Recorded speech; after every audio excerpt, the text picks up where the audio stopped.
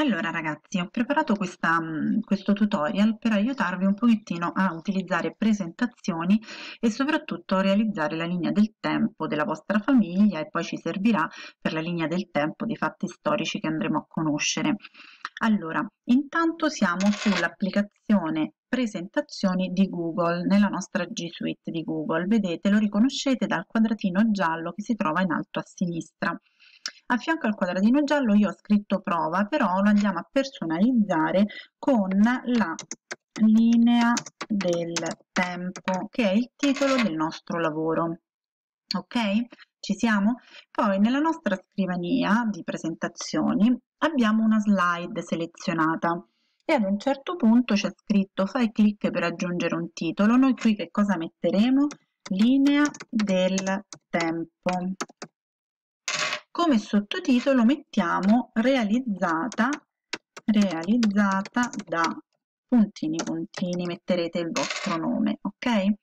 Poi andiamo a creare un'altra slide. Come si crea un'altra slide? Si pigia cioè si clicca sul tasto più in alto a sinistra e si aggiunge la diapositiva. Questa diapositiva è formata da un titolo e da una casella di testo. Sul titolo metteremo linea del tempo della mia famiglia.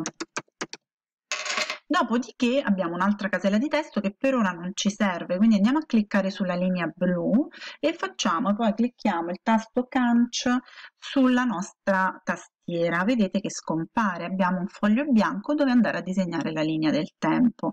Come la, la disegniamo? Andiamo ad utilizzare questo strumento che si chiama linea apro la tendina, seleziono una di queste che mi può servire, secondo voi qual è?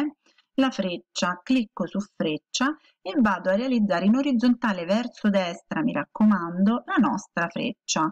Spero di essere precisa, eccola qui. Adesso è in forma molto sottile, quindi non la vedete realizzata. Per crearle, creare lo spessore andiamo sulla casella spessore, ci clicchiamo Scegliamo uno spessore 12 potrebbe essere adatto, eccola qui che si realizza la nostra linea.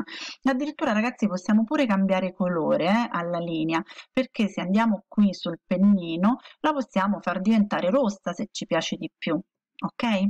Adesso andiamo a mettere i segmenti sulla linea per delimitare l'età dei nostri familiari.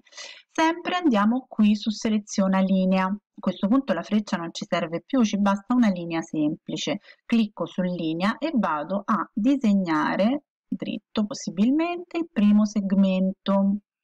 Eccolo qua vediamo un po' se riusciamo a tenere la mano ferma. Questo segmento sempre piccolino lo possiamo ingrandire mettere in misura 4 eccolo qui il primo segmento sulla linea del tempo. Poi come dobbiamo andare a scrivere? Adesso se la casella di testo l'abbiamo cancellata ce l'andiamo a riprendere. Vedete qui casella di testo. Selezionandola mi posiziono sopra al segmento ecco qui la casella di testo che posso ingrandire in questi angoletti come voglio eh, col nostro mouse. Clicco due volte dentro la casella di testo e scrivo per esempio 1950 nonno. Ok?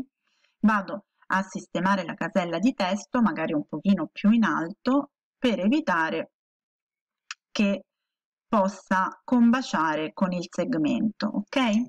La stessa cosa la facciamo per tutti gli altri familiari. Va bene?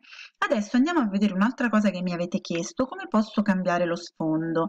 Vedete qui c'è scritto sfondo, posso cambiare il colore, sceglierle, adesso se abbiamo fatto la freccia rossa facciamo lo sfondo verde diciamo, e lo possiamo mettere solo su una slide oppure su tutte le slide facendo aggiungi tema, poi clicco fine, ecco qui tutte le mie slide saranno verdi, ok? Scelta non bellissima però diciamo che per rendere l'idea. Lo sfondo potete anche mettere un'immagine su scegli immagine quello che volete. Un'altra cosa che può ehm, diciamo esservi, esservi utile è quello di andare a sperimentare tutti i pulsanti che trovate qui vedete sulle due barre degli strumenti. Andate a provare a sperimentare addirittura potete inserire delle immagini. Vi dico una cosa di più se alla fine quando mettete la vostra data di nascita ci volete inserire la vostra immagine lo potete fare. Guardate qui cioè inserisci immagini. Lo puoi caricare dal computer o cercare dal web. Se io faccio cerca dal web mi si apre Google di lato quindi oltre a mettere una foto potete fare tantissime altre cose, quindi vi invito a sperimentare il programma, intanto però esercitiamoci con la linea del tempo. Spero che sia tutto chiaro, altrimenti fatemi sapere. Alla prossima!